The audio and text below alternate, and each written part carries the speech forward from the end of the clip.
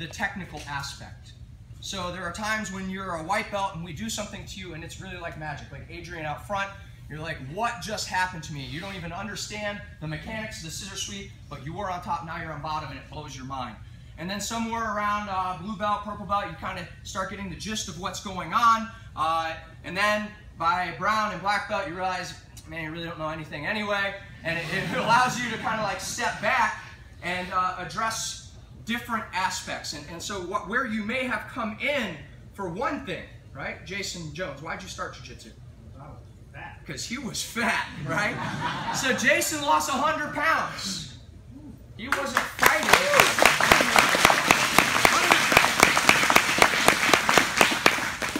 And after you eat his barbecue, you'll understand why he was amazing barbecue. But um, you know, Jason came in here to lose weight. He lost 100 pounds, and guess what? He's still doing jiu-jitsu. And while he likes the health benefits, he stays here because we got a rock star group of people, and he really, really, really likes cooking barbecue. Uh, then there are people that come in here because they're getting bullied. They want self-defense. You know, you garner that skill set. You know, by the time you're middle blue belt, purple belt, you got the idea against people that don't know jujitsu, right? And then you stick it out. You're still here. Why are you still here? Well, you like the people here. You like the training. It mentally, physically, and emotionally stimulates you, right? Then uh, maybe you came in because um, you've got an MMA fight coming up, and that's what you want to work on, right, Justine? You want to work on your, your grappling aspect. You're a professional. Well, that's different than learning self-defense. That's different than losing weight. Uh, and some of those battles that people have are very easy to pick out, but some of them aren't. So I'm going to share a moment about my training and where I started and where I am now. Some of you knew me when I was a white belt and a blue belt. And there are a lot of people that hold me accountable for the things that I did when I was white belt and blue belt, and they should. You know, um, but to think that I haven't grown emotionally or with my jujitsu would be a mistake. I counted a good training session with how many times I could tap someone. Did I pass someone's guard? Did I crush them? Did they get me? You know, if they didn't get me, I was like, well, I didn't get tapped today. You know, like I was counting my wins. It didn't matter size. That's Matt, right? I was a big boy trying to crush Matt all the time. If I crushed Matt, it was a good training session. If I didn't crush Matt, it wasn't a great training session. And so then in my mind, in my mind, I thought I was going to be a world champion. I really thought that. Um, mind you, I had never rolled with a black belt in my life, and I thought I was going to be a black belt world champion. And so uh, some things happened at school. I ended up uh, graduating, and I made the decision I was going to move to Brazil. And I was like, you're not moving to Brazil. I'm, like, I'm moving to Brazil. I'm going to go to this guy, Gordo's Academy. It has a world champion, Pan Am champion in the same division that I would be in. It'll be a good measuring stick. So my first day in Brazil, mind you, I'd never rolled with black belt. My first match, world champion black belt. My second match, seven-time world champion black belt, right? Third match, world champion purple belt, which I was a purple belt at the time. My fourth match was a second degree black belt who loves to go, you see that gringo? I'm gonna crush that gringo. and then he would go crush the gringo. It was insane, right? And I remember I crawled on my hands and knees over to the corner after this training session and I was looking at the wall and I was like, what have I gotten myself into? right? Like, my return plane ticket doesn't go home for six and a half months, six months, and I was looking for a way out. But uh, over those next 10 weeks, I lost a lot. And I kept pulling myself together, going back to class, because whereas I can deal with being a loser, being a loser is something that somebody crams down your throat against your will. You fight it every bit that you have, but sometimes you lose.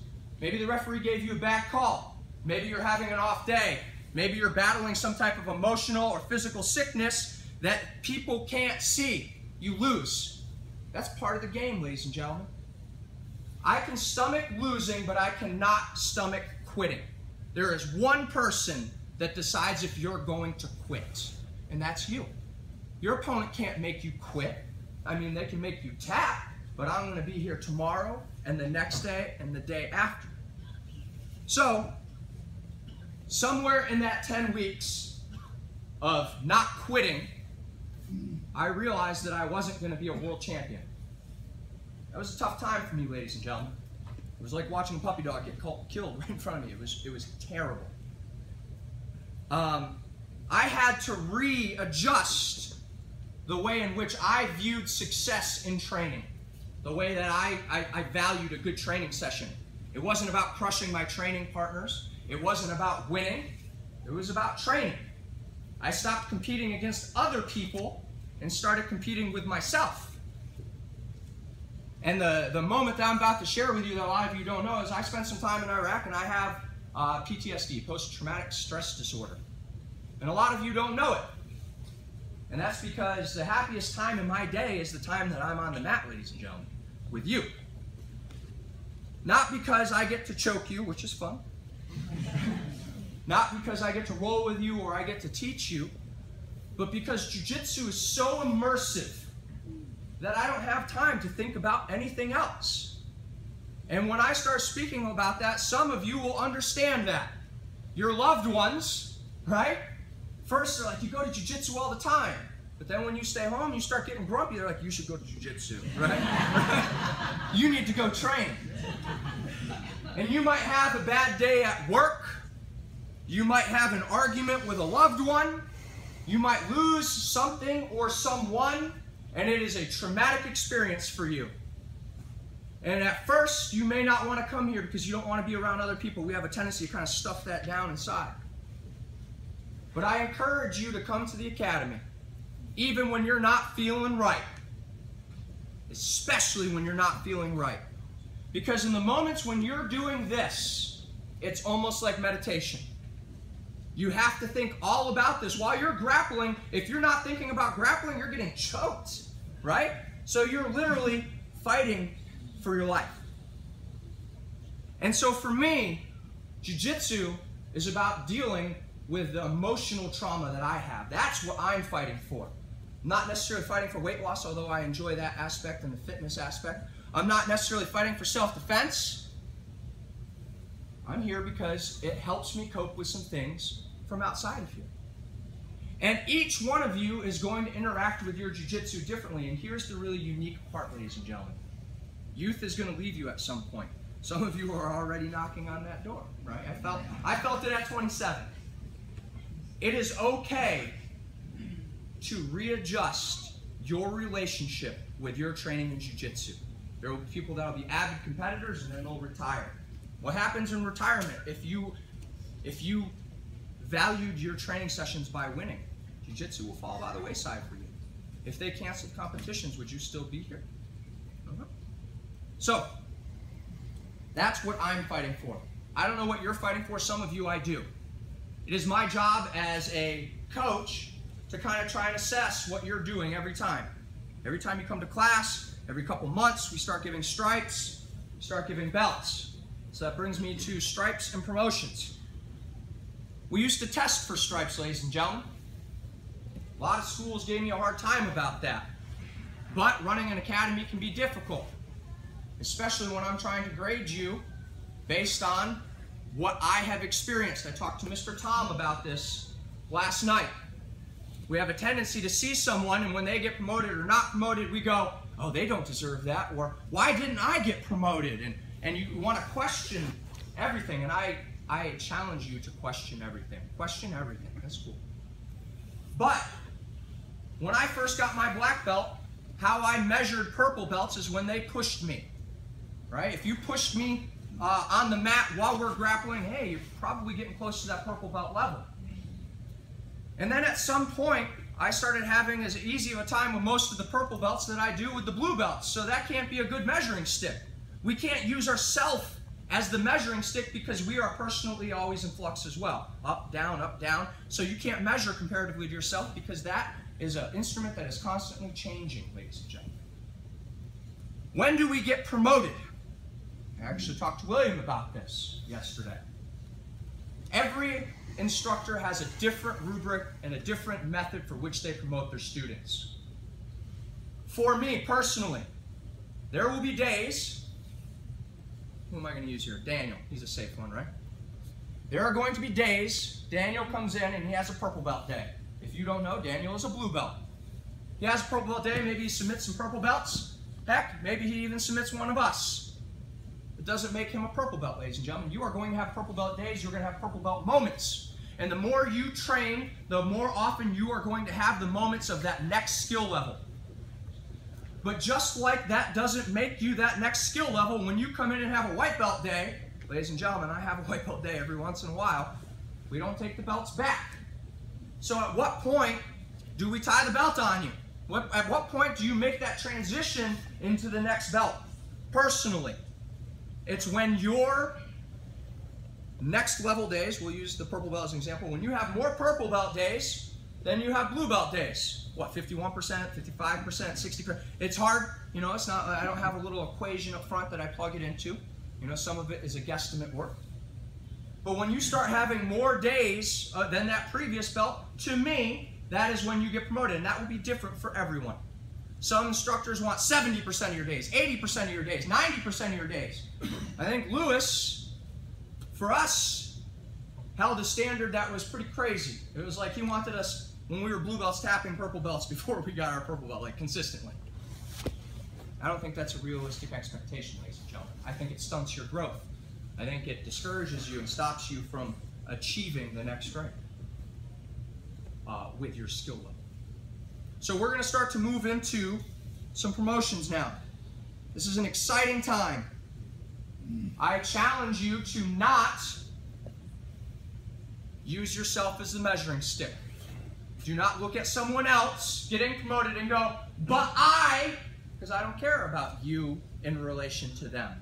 I care about them in relation to them. So when they get promoted, I challenge you not only to not use yourself as a measuring stick, but to please cheer for your teammate because in a little bit of a way, you're getting promoted right along with them. We haven't given out stripes and promotions in a while, ladies and gentlemen. A good while. At some point, we became too large for that to happen consistently.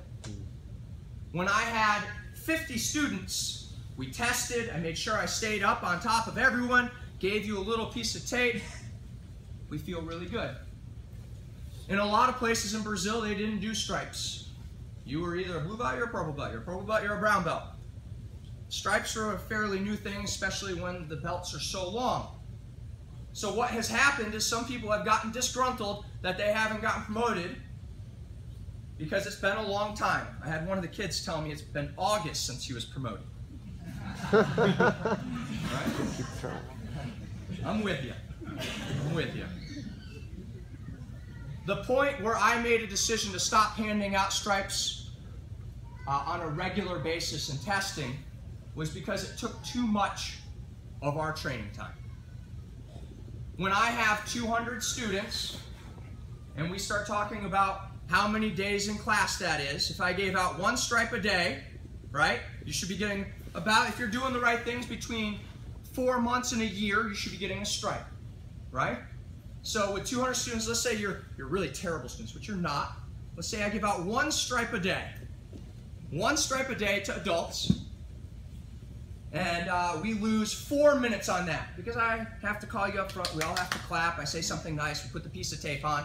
And then you go sit down. Five minutes in every class. That's insanity, right? Five times 200, right? That's 1,000 minutes, right? Is that right? Yeah. Yeah, 1,000 minutes. 1,000 minutes right? A thousand minutes, ladies and gentlemen. Think about that in the long scheme of things. In a year, which is what we're talking about taking every year, I'm not going to take a thousand minutes of your training time to, to put a piece of tape on your belt. And so if you ever get disgruntled, you feel like you're losing your way or I'm not recognizing you, which I would have a hard time uh, envisioning that because I try to have a personal moment with everyone every time they come into class. If you feel like I'm, you're falling under the rug or that I'm, I'm not seeing you, come talk to me. We are in a unique situation. We have some traditional martial artists that have come here and they say, uh, don't ask about rank. Absolutely not. If you ask about rank, they're, they're going to get mad and they're not going to tell you, uh, or they're going to tell you, you're not getting promoted. We're going to make you wait another year, Shane, because you asked about your belt. Insanity. Absolute insanity. We are martial art but we are also a sport. I put my pants on the same way. Everyone in here puts their pants on, one leg at a time.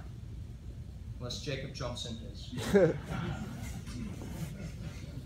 And what that means as an instructor, as a teacher, as a professor, is that I have a game plan for most of you.